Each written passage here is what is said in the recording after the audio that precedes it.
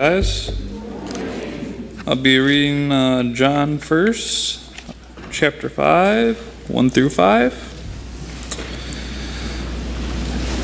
Everyone who believes that Jesus is the Christ is born of God. And everyone who loves the Father loves his child as well. This is how we know that we love the children of God by loving God and carrying out His commands. This is love for God, to obey His commands, and His commands are not burdensome. For everyone born of God uh, overcome the world. This is the victory that has overcome the world even our faith. Who is it that overcomes the world? Only he who believes that Jesus is the Son of God.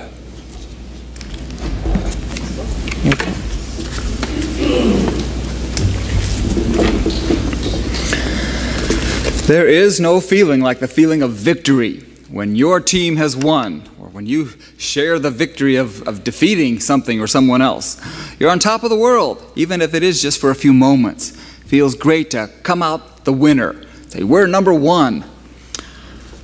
Again, as a Cleveland sports fan, I have not had that feeling very often. The Indians have been this close a few times. It's been 30 years since the Browns even sniffed it, but, uh, but on June 19th, 2016, the Cleveland Cavaliers won the NBA championship after so many years. The Bible tells us that in Christ we are victorious, that we've overcome the world. Now, the world is a mighty foe, but through Christ we have beaten it.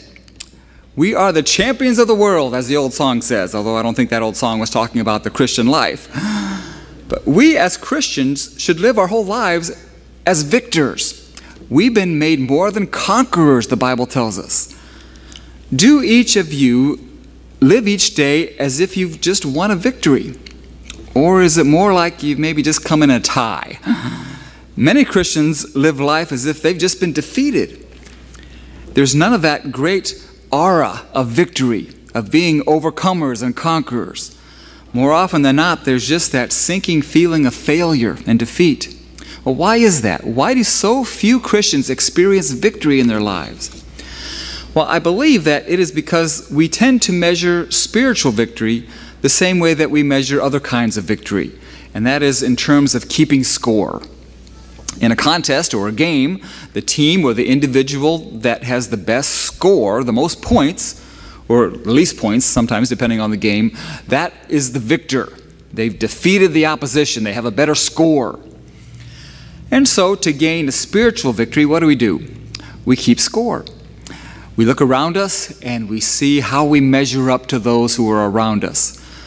We see unbelievers out there and how they're living their life and think, hey, I'm pretty good. I have victory. We compare ourselves to unbelievers, but not only do we that, do that, but we compare ourselves to one another there is spiritual competition going on in the Christian community. That's just ridiculous. Many Christians feel that if they go to church and they say their prayers and they read their Bibles and they witness and they tithe more than their neighbor Christians, that they've won some sort of victory. Actually, when they haven't won anything at all. That, that's not spiritual victory. Or on the other end of things, if they see someone else who does those kind of things better than they do, or who has a deeper spiritual walk with the Lord than they do, then they feel like there's some kind of failure and they've experienced some sort of defeat. When actually, that situation could be the key to great spiritual victory, to be able to actually learn from a more mature Christian. Sometimes the competition isn't so much with other Christians, but it's within ourselves. Now, coaches will often tell athletes, you know, don't worry about the other team or the individual, just try to beat your personal best and keep improving. And that's a great attitude to have with athletics. But I think for our spiritual lives, we need to make a distinction between success and victory. Now, don't get me wrong, I'm all for success. I'm all for improving your individual spiritual lives. I'm all for personal or group achievement. I'm all for setting goals and striving our hardest to reach those goals. You know, goals are important to, to gauge your success and to determine your progress and improvement. They help you to see if you're moving forward or just standing still or perhaps even moving backward. And that's why I like us as a church to set some goals and to reach for progress and success. And I think all of us as individuals should set goals for our lives and, and do our best to reach them, whether it's your professional goals or, or your personal devotional goals, to, to try to do better uh, in, in your spiritual life. But the thing is, you can be very successful and still not have spiritual victory. Spiritual victory comes when you place all of your trust in Jesus Christ and what He has accomplished for you. He has won a victory that we would not ever have any chance or hope of winning. Kind of like my rooting for the Cavs and when we had LeBron and Kyrie and all those good players that made us so good that we don't have anymore. But when they beat the Warriors, that one time out of four times that they made the finals, they beat them once and they won the championship. And I'm pretty sure I looked at Luke and I said, We did it! we didn't do anything. but, but because I had chosen to align myself with that particular team, I could feel that I was sharing in the victory. If you choose to align yourself with Jesus Christ, then you can share in the victory that only He could ever accomplish. He has conquered sin and death, and He has offered us the opportunity to share in that victory. Spiritual victory comes for us then when we focus not on what we do, what we have accomplished as a church or as individuals, but when we focus on what Jesus has accomplished on the cross. He has won a victory that we can only experience when we place our lives in His hands. Jesus is the reason for our victory. And he is the example of living a victorious life. As this passage in 1 John 5 that Bo read for us so eloquently tells us, all we have to do is believe in Jesus' victory, and we get to share in it. Verse 4 says, Everyone born of God overcomes the world. This is the victory that has overcome the world, even our faith. I would like this morning to take a look at some of the ways that the Bible tells us that we can live a victorious life all of which follow the example of Christ and his life on earth. And to help you remember these concepts, I've thought of words that begin with the letters of the word victory. For instance, the first thing we need to do is to be vigilant. Jesus told his disciples to watch and pray, to be on the alert for Satan's tricks. Christ, when he lived on earth, had an acute awareness of how the devil works, and that that is the key to having victory over him. Now, psychologists will tell you that if you believe that someone hates you and is out to get you, that you're paranoid and you are unhealthy mentally. Well, I stand before you today to tell you that if you are a Christian, that Satan hates you and he's out to get you. And you better be aware of that and watch out for it. And if that makes us paranoid, then that's a legitimate paranoia because it's the truth. Many times, when a Christian falls to temptation, it's not so much out of a, a, flagrant disobedience or, or out of some great desire to commit a particular sin, but rather it's just because he or she was not alert to Satan's tactics and fell into something without really thinking about it. But we are just as accountable for those kinds of sins as any other sins. The first step to having spiritual victory is to know who your opposition is and how he works. Your opposition is not other people, it's not even yourself, but it's Satan, the prince of sin and death, Satan and his many demons. That is who Jesus conquered when he died and rose again. And that is who we can conquer through Jesus if we are vigilant. 1 Peter 5 8 says, Be self controlled and alert. King James says, Be sober and vigilant, uses that word. Because your enemy, the devil, prowls around like a roaring lion looking for someone to devour. So we need to be vigilant or we will be devoured. We also need to be involved. Among the most defeated people that I have known are those who live their lives on the outskirts, never really bothering to get involved in anything, especially the life of the church. When you're just not involved in anything, then it's easy to convince yourself that you're being excluded and therefore begin to feel jealous and, and bitter and critical. And that sure doesn't make for a very victorious life. Jesus was constantly involved in the lives of others, doing his Father's work, helping the needy, healing the sick, saving the lost. We need to follow that example and be involved in the Lord's work. And that way you will be much less likely to be the one sitting back and just watching and criticizing about how they don't do this or that down at the church. If you're involved in the middle of a project or a particular ministry, then you're going to be too busy working to be the ones who are on the outskirts, watching and complaining and criticizing. And yes, I know it does take a risk to be involved because then you might be the one who is criticized. You are the one who is vulnerable. But as Paul said in 2 Corinthians 6 1, we are workers together with Christ. And unless you become involved in his work, then you're not going to experience his victory in your life, and your life will just be in vain. If you happen to be one of those people that are on the outskirts of the Lord's work, maybe it's perhaps you're just relatively new in church, or maybe you just haven't found your niche yet, please know that there is a place of service and involvement here for you at our church. And we invite you to get involved. If you haven't been asked, I apologize for that. We, we've missed the boat if that's the case. But, but don't punish us for that. Don't, don't punish God for that. All you would really be doing is punishing yourself. Get involved and share in the victorious life of our Lord Jesus Christ. Something else we can do to make sure that we're living a victorious life is to be courageous. Now, it doesn't take all that much courage to be a Christian in our society, not when you compare it to some other places around the world where a commitment to Christ means that you may forfeit your very freedom or your income or your family. Now, we aren't often forced to stand up and be counted for the Lord. But every once in a while, we do have an opportunity to show courage for our convictions. And so often we just fail.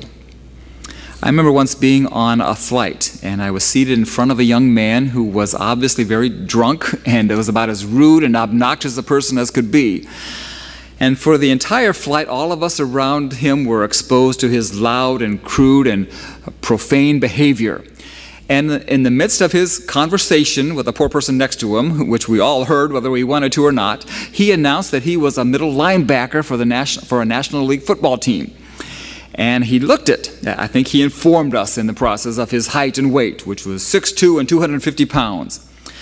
And at one point, he used the Lord's name in a way that I found very offensive. You know, not just offhand profanity, but an outright blasphemous statement. And what I wanted to do so much was just to stand up and turn around and ask him not to use my Lord's name that way. Not only for his sake, he was probably too drunk to get it, but just for the, the sake of all of, of the people around us. That's what I wanted to do. But what I chose to do was to sit in my seat and stare straight ahead.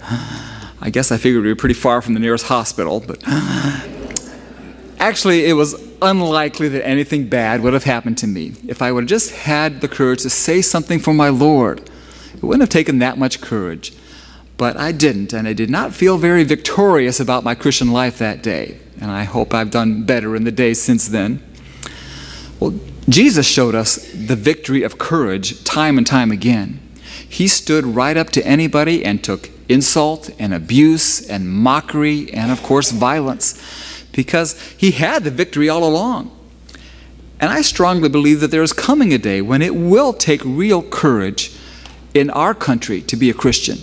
And we just might have to stand up and take our lumps for the Lord. But if we would, we would have greater victory than we ever could have experienced otherwise. So let's just start now and learn to be strong and of good courage as the Lord told Joshua in Joshua 1 7, which says, Be strong and very courageous. Be careful to obey all the law my servant Moses gave you. Do not turn from it to the right or to the left, that you may be successful wherever you go. So let's look for opportunities to stand up for our convictions and to bravely face whatever consequences there might not, not, there might be for not turning to the right or to the left and following the law of the Lord. Let's have that victory in our lives. Something else that we can do, though, is to be thankful. All of us have blessings in our life for which we are truly thankful. I know that. But all of us also have things going on in our lives for which it is very hard to be thankful. Victory in your life can be determined by which of these you choose to dwell upon. If all you think about are the rough times you're going through, then you're going to experience defeat. But if you can still be grateful for the blessings that God has given you, then you can know the victory of thankfulness. In fact, 1 Thessalonians 5:18 says that in everything we are to give thanks in all circumstances. That's a very important concept to get a hold of. Be thankful for your blessings but also for your trials. If you're thankful instead of bitter, then victory and defeat in your life are not defined according to the circumstances going on in your life, but rather by your response to those circumstances. It depends on your level of, of faith and your thankfulness to Christ. As the great old hymn says, faith is the victory that overcomes the world. If you're thankful, you will have victory no matter what might be coming your way. Next thing I might say is to be optimistic. And I kind of hesitated to use that word or not because of the prominence of such philosophies in our society as you know, possibility thinking or, or the, the power of positive thinking, which say, well, I can do anything if I think I can do it. So I'm not up here to just give you a pep talk and talk about the little engine that could. You know, if you say, I think I can, I think I can, then you can do it. That's not my point at all. The Bible says in Philippians 4:13, "I can do all things through Christ who strengthens me." There's a big difference there. It's about where your optimism lies. It's important to be optimistic in life, to look at the positive side of things. If you're always pessimistic, looking for and looking at the negative all the time, then it is literally impossible to have any victory. But sometimes that's hard. Even when you read the Bible and you hear the message of judgment and, and the desperation and, and the doom of the world, there's a lot to be pessimistic about. But knowing Jesus makes all the difference. We need to be optimistic, but not in ourselves, not in our own abilities, not in our power, but to be optimistic about our hope of glory, which is Christ in us. He has turned the dark into light and the night into day. And because of that victory, we can be optimistic and we can share the victory that He's already won for us on the cross of Calvary. Another thing that might bring more victory in your life than you might ever imagine is that if you would be reliable.